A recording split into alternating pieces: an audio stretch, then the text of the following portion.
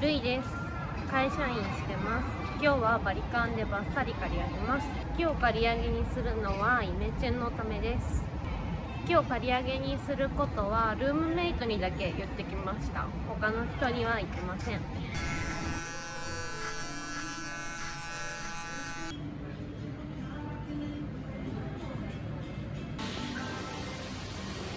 髪切りました。似合いますか？